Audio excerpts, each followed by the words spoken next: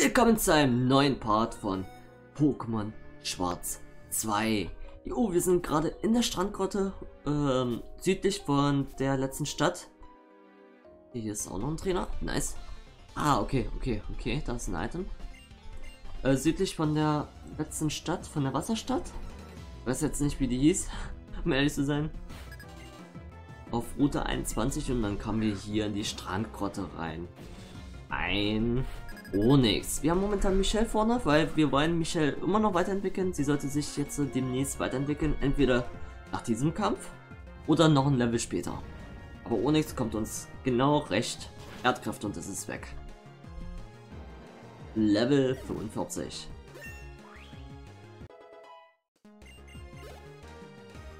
So ein Steuerrad. Michelle, mach einfach mal weiter. Falls du dich doch noch nicht entwickelt, dass du kurz vor Level 46 bist. Erdkräfte ist halt auch eine geile Attacke. Michelle ist sehr, sehr schön stark.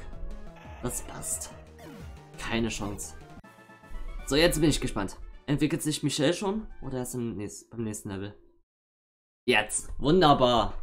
Nun erreicht auch Michelle ihre Endentwicklung.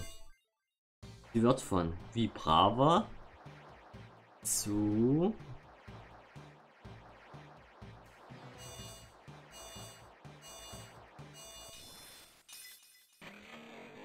Libeldra. Um einiges stärker Libeldra haben wir ja schon in der Drachenarena gesehen und auch gegen gekämpft. Dieses war glaube ich auf Level 46 oder so. Bedeutet, wir haben da schon ein bisschen Erfahrung, wie stark es sein kann. Und ja, es kann sehr, sehr stark sein. Und jetzt kann es auch Drachenroute erlernen. Konnte ja Michelle vorher noch nicht. Drachenroute putzt das Ziel vom Feld und wechselt es mit einem anderen Pokémon aus. Beendet Kämpfe gegen wilde Pokémon. Stärke 60, Genauigkeit 100. Wie viel Stärke hat? Feuerrotem? Oh, Stärke 60. Dafür Genauigkeit 100. Würde trotzdem Drachenroute nicht mit reinnehmen. Da ist mir Feuerrotem auch wegen der Genauigkeit noch ein bisschen lieber. Feuerodem wird ja auch eines Tages ausgetauscht ne, gegen eine bessere Attacke. Ja, das kannst du ein Pokémon-Team geben. Eine Persimbeere. So, natürlich kämpfen wir mit Michael jetzt so weiter. Oh, da sind ein paar Kieslings, okay. Ich möchte mal vorher hier bauen. Einerseits hier unten ist ein Pokéball. Eine Top-Genesung. Ui, bisher haben wir nur eine davon. Jetzt hier ein Item. Auch komme ich da noch schnell hin? Ah ne, da ist ein Trainer. Mist. Ich dachte, ich komme dazu ein, dieser Staubwolke, dass ich da vielleicht ein Stück kriege, weil wir brauchen immer noch drei Indigo-Stücke. Aber nein, hier ist ein Trainer, der uns auffällt und nach dem Kampf ist die Staubwolke eh weg. So, jetzt kann Michelle ihre neue Power zeigen. Gegen ein Vibrava. Passt ja. Auf Level 46? Hä? Das hat sich noch nicht weiterentwickelt? Okay, Michelle in der Entwick Entwicklung, aber ein Level niedriger als das gegnerische Pokémon. Feuer Odin. Würde trotzdem sehr, sehr... Ui! Da merkt man die Power von Michelle jetzt. Wow. Und ein Squawkler. Blutboden. Sehr interessante Typkombination. Ich wechsle zu René aus einem einzigen Grund. Eissieb und das Gurgler ist weg. Vierfach Schwäche gegen Eis. Das ist halt auch das Geile, dass wir jetzt auch einen Eistyp haben. Oder eine Eisattacke, besser gesagt. So, wer fehlt, bei wem fehlten jetzt überhaupt noch die, noch ein, eine Endentwicklungen? Bei Finn und bei Luke, oder? Jonas hat, René hat, Nico hat und Michelle hat, genau. Nur noch bei Finn und Luke fehlen noch jeweils die Endentwicklungen. Oh, eine Persimbeere, sehr nice.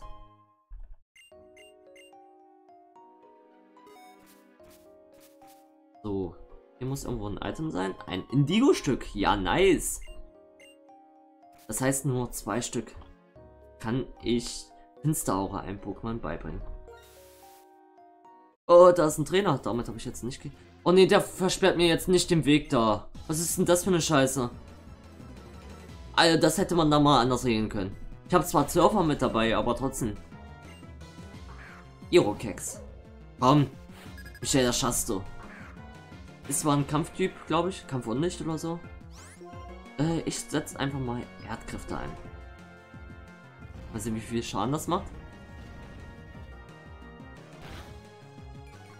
Okay. Nicht ganz so viel. Allerdings senkt sich die Spezialverteidigung. Und unsere Initiative. Bombkick, okay. Ich glaube, sonst mit der Vorentwicklung hätte das Michelle komplett umgehauen. Sie wäre besiegt gewesen. Aber heute nicht. Level 46 für Michelle.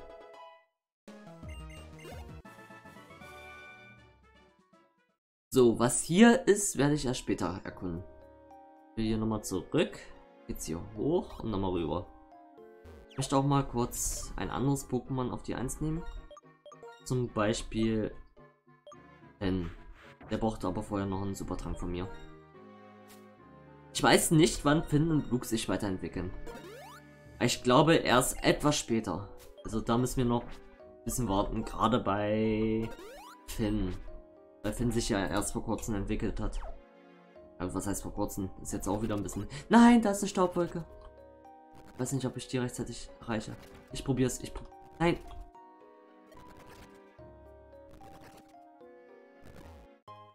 Ein Stahljuwel, okay. Damit habe ich jetzt nicht gerechnet, aber okay. Jetzt geht es hier zum Item. Dann sind wir hier bei dem Trainer, wo wir schon gegen ihn gekämpft haben. War dann sonst hier noch was? Hier unten halt.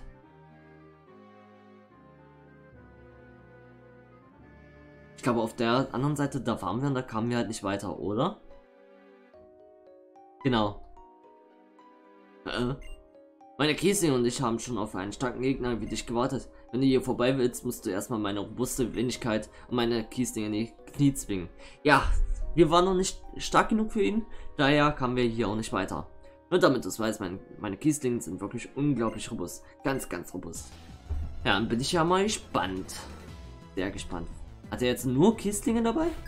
Das vier Stück? Wahrscheinlich. Na toll. Das kann ja ein Kampf werden. Ich werde erstmal versuchen, mit äh, Finir ein bisschen was zu reißen. Setz gleich mal Hitzewelle ein. Und mal sehen, wie gut das läuft. Uh, sehr gut. War Steinkante. Uiuiui, sehr effektiv. Gott, Finn um. Shit. Dabei ist es beinahe besiegt worden. Ähm, rüber zu... Ah, nee. Ich setze erstmal kurz hier im Kampf ein Beleber ein, weil ich möchte, dass Finn die EP kriegt. Ah, es war so knapp. Explosion, ja, das ist das Glückste, was er machen konnte. Allerdings macht das nicht so viel Schaden bei René, weil es nicht sehr effektiv ist. Genau. War eher dumm von ihm. Wir bleiben gleich bei René. Der Kampfattacke und es ist weg. Es sei denn, es hat Robustheit, das kann natürlich sein. Ey, ich möchte ihn. Ah. Das kann natürlich sein, dass er Robustheit hat. Ach, macht eh nicht so viel Schaden aus dem von dem Grund. Weil natürlich Fußkick so viel Schaden macht, wie schwer das Gegner, äh, wie schwer der Gegner ist, oder halt richtet sich nach dem Gewicht des Gegners. Ein Kiesending ist halt nicht so schwer, weil es nur ganz klein ist. Ein kleiner Kieselstein ist halt nicht schwer. Aber trotzdem macht er mal weiter. Vielleicht können wir mit Eishieb irgendwie was regeln hier.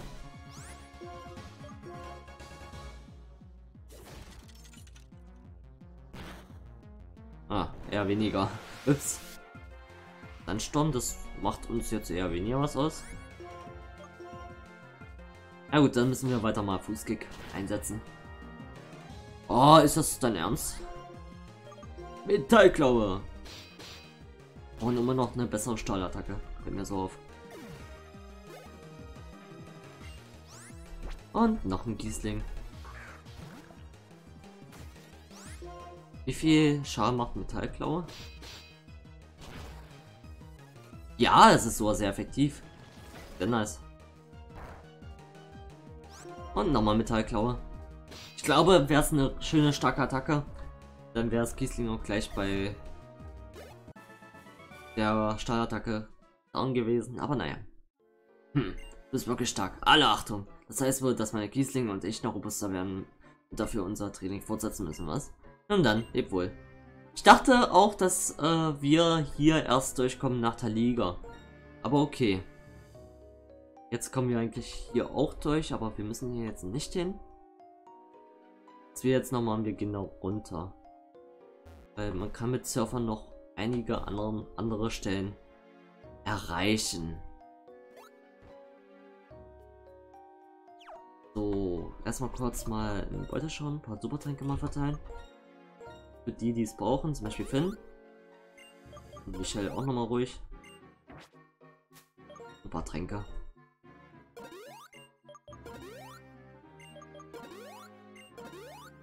Passt. Sind wir wieder gut aufgestellt. Wir hätten natürlich zur Pflegerin oder ist ja keine Pflegerin, ist ein Arzt hingehen können, aber naja. Kurz hier den Trainer hier überspringen. Das ist ein bisschen doof gemacht. Ich möchte kurz schauen, ob hier was in der Ecke ist. Nee. Schutz wird weiter eingesetzt. Äh, ich habe natürlich noch nicht vorgelesen, was es hier für Pokémon gibt. Das kann ich mal kurz hier vorbereiten. Strand. Grotte, so. Dann weiter gehen wir kurz hier zum Item. Eine Herzschuppe. So. Im Erdgeschoss 1 findet man zu 35% ein Enteron, zu 10% ein Europe, zu 15% ein Sedimantur, zu 35% ein Flecknoll und zu 5% ein Zapladin. Unser Luke sozusagen. Äh, ich mach gleich weiter. Ich möchte kurz hier hin, um zu schauen, was gibt's hier. Das ist ein Chromat, okay. Ein Kastelit. Ach Leute, kann man auch gegen kämpfen, interessant. Gut. Komm, Finn, das schaffst du jetzt noch. Ich glaube an dich. Hitzewelle.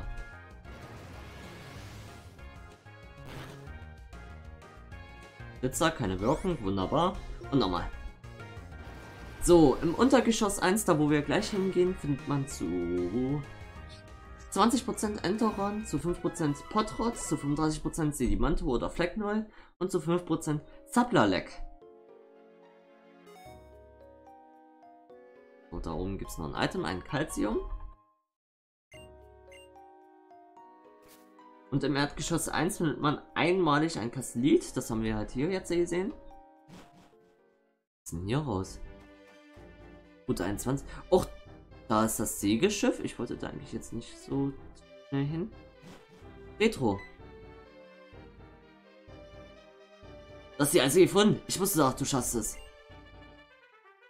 Aber wie kommen wir jetzt da rein? Wartet. Eine Schwerbrücke hat sich feierlich herabgesenkt. Okay. Das sollte passen. Und ich dachte, du hättest keine Ambitionen, gegen Team Plasma zu kämpfen. Meine Freunde, ich habe kein Problem mit Team Plasma. Es kann schon sein, dass die wirklich allerlei Böses aushecken. Aber nur weil alle sagen, sie sind böse, will ich sie nicht schnell vorschnell verteufeln, ohne mir selbst eine Meinung gebildet zu haben. Das ist einfach nicht mein Stil. Doch wenn ihr Hilfe braucht, dann will ich euch auch helfen. So viel ist auf jeden Fall klar. Danke! Hört mal her, ihr müsst an etwas glauben. Die gestohlenen Pokémon zu suchen ist auf jeden Fall ehrenwert. Die eine Region vor der Eiszeit zu bewahren ist ebenso nobel. Jeder Grund ist im Prinzip recht. Was zählt ist das Warum. Je stärker ihr an euch etwas glaubt, desto stärker werdet ihr werden. Ihr und eure Pokémon. Ich war ein bisschen laut, da sind ein paar Leute aufgetaucht. Also dann, immer schon vorsichtig sein. Was soll das, so ein Drückeberger? Naja, vielleicht war er auch nur auf seine eigene Art freundlich. Also los, nächstes rein. Äh, wir noch nicht. Wir gehen wieder zurück. Weil wir sind hier noch nicht fertig. Ich möchte erstmal hier alles fertig erkunden. Oh lol. Ja, äh, das nächste Pokémon, was man auch kriegen kann per Staubwolke ist Stalober zu 100%. Wie man jetzt hier sehen kann. Zufälle gibt's, die gibt's gar nicht, so, so gesehen.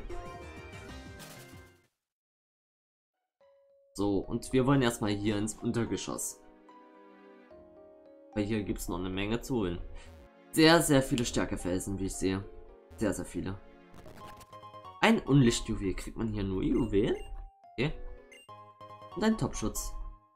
Ich weiß nicht, ob äh, unser Vollsklave Stärke erlernen kann. Wir schauen mal kurz. Warte, wir sind nicht bei den TMs. Wo sind denn hier die TMs? Da. Wir brauchen natürlich jetzt eine Stärke, hier weiterzukommen. Sonst müssen wir irgendwann hier wieder zurückgehen. Michelle oder René könnten es erlernen. Na toll. Hm. Ja, moin. Bringt mir jetzt aber nichts. Weil da sind mir die Attacken von den Beinen viel zu schade für. Ey, das, das kotzt mich gerade so ein bisschen an. Ein Stahljuwel. Man hier nicht weiterkommt. So eine Stärke. Ja gut, dann können wir hier nichts machen. Dann gehen wir jetzt doch zum Schiff. Aber ich möchte kurz noch vorlesen, was man sonst noch hier hätte kriegen können. Per Surfen zu 30% ein Europe, zu 70% ein Quabbel. Per Superangel zu 70... Ne, zu 30% ein Muschas, zu 70% ein Libiskus. Per Pokémon-Schatten beim Surfen 60% Europe, 10% Yugong, 30% Aquacronip und per Pokémon-Schatten bei der Superangel zu 65% Mushas, zu 5% Austers und zu 30% Libiskus. So, let's go hier raus. Und dann geht's jetzt hier auf das Schiff. Ja, wir sind eigentlich gut vorbereitet. Ich möchte kurz schauen, ob es hier draußen noch hier oder da noch ein Item gibt. So, Top-Schutz brauchen wir jetzt erstmal nicht mehr. Okay, ich denke mal, es war's dann hier. Gehen wir mal an Bord. Team Plasma ist hier sogar schon. Die überlasse ich dir. Dich hast du ja locker, oder? Hey, du. Hey, ihr, Alter. Ihr gehört zu diesem Typen mit der lustigen Bahnhose, der die Gangway heruntergelassen hat. So ein Mist, Alter. Ihr habt sogar das Kastellit beseitigt, das euch den Weg versperren sollte. Auf geht's! Plasma!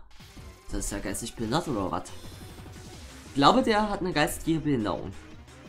Ja gut, äh, ich glaube, ich weiß, dass er eine geistige Behinderung hat, wenn er hier schon bei Team Plasma arbeitet.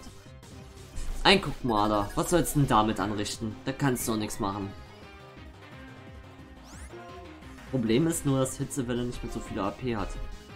Staffette. Oh, okay. Zu wem wechselt er? Unrat. Nee, die Ponytox. Äh, da wechsle ich gleich mal zu Michelle, weil Michelle kann damit einer Bonattacke ein bisschen Schaden anrichten. Um ehrlich zu sein. Amnesie. Was macht das? Mit der Verteidigung können, oder? Ja, steigt stark. Wir greifen eh physisch an. Zumindest mit Michelle. Mit Finn hätten wir natürlich speziell angegriffen.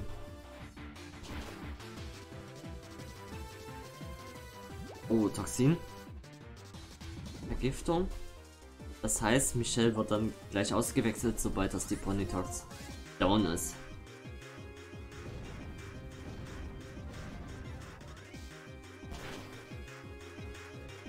Schön gemacht. Das ist schön. So, jetzt fehlt nur noch dieses Guckmaler. Da wechsle ich wieder zurück zu Finn.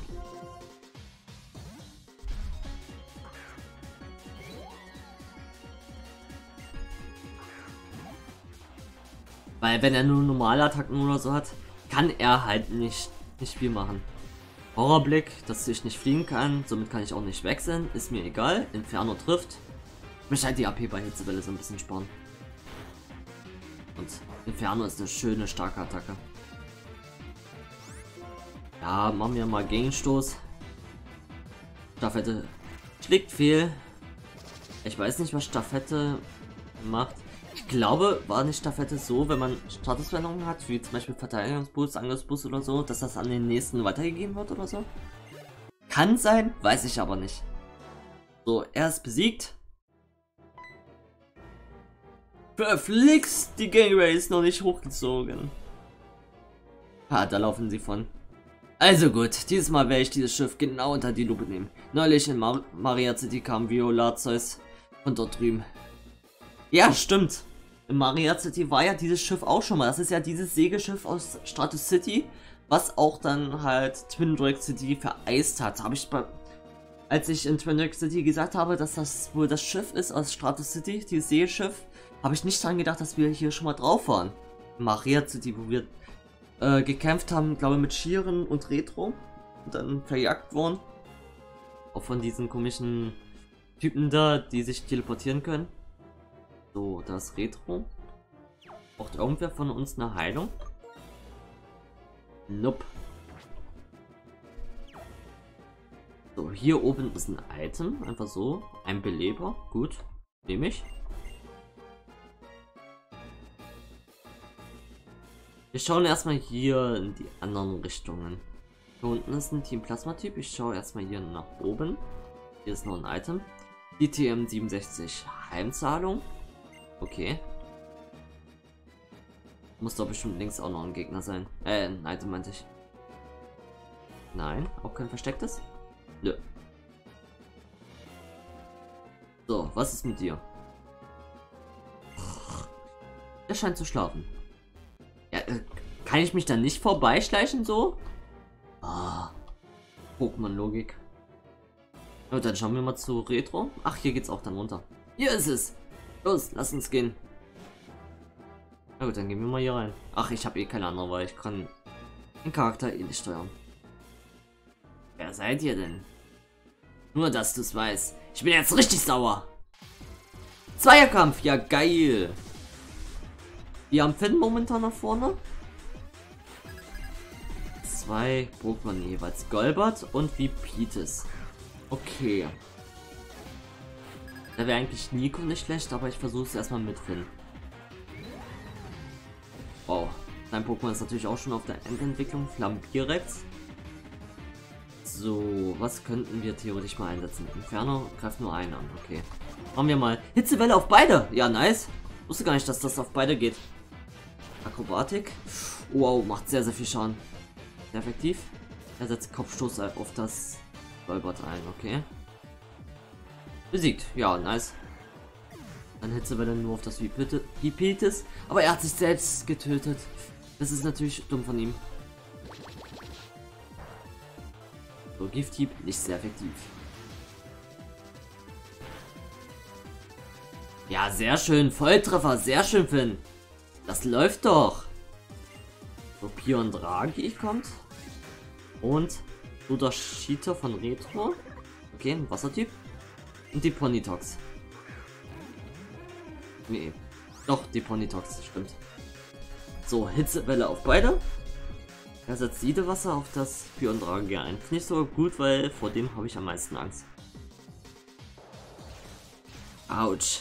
Das wird wehtun. Das wird sehr wehtun. Das tut weh. Mist. Was ist das für eine Attacke? Hm, wir setzen Michelle ein. Sie ist zwar schon... Nee, Nico, Nico. Da kann ich mit Psycho was machen.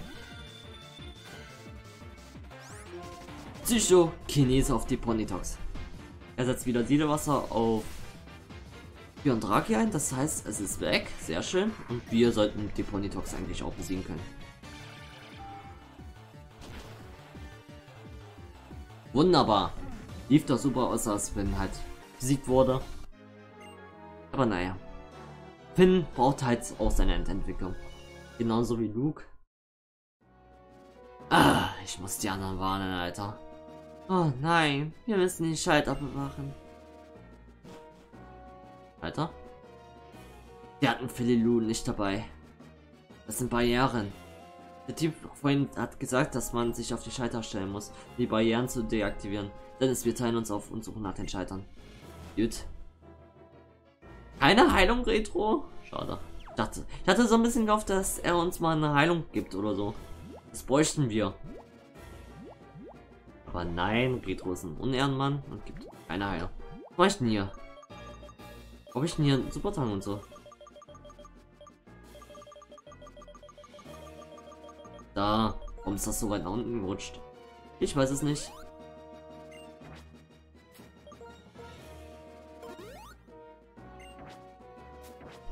Wunderbar. Jetzt geht's hier runter. Schon wieder? Hoppla. Sieh mich nicht so misstrauisch an. Zwar diese Klamotten, aber ich gehöre nicht mehr zu Team Plasma. Ein Spion hier für den Fall der Fälle.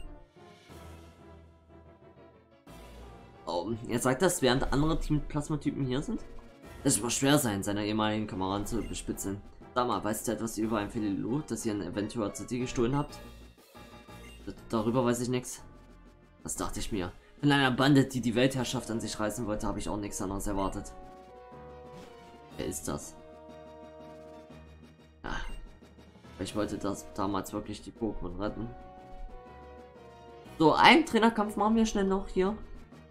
Und dann ist der Part eh vorbei. Eigentlich wäre er jetzt schon vorbei, aber ich habe jetzt noch Bock auf einen Kampf. Von daher machen wir den auch noch. So ist das ja nicht. Ein Pion Draghi. Da wechsle ich gleich Finn aus. Wir haben beim letzten Kampf gemerkt, was passieren kann, wenn wir Finn nicht auswechseln. Ein Nachthieb und Finn ist weg. Äh, Nico.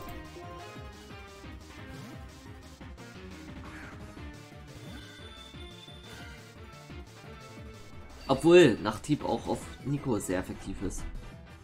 Daher müssen wir mit Nico auch jetzt hier sehr vorsichtig sein. Ja, war klar, war klar. Okay. Was? Keine Wirkung? Ich glaube, den Fehler haben wir schon mehrmals gemacht, kann das sein? Ähm... Shell ja, ist vergiftet, aber wir versuchen es trotzdem mal.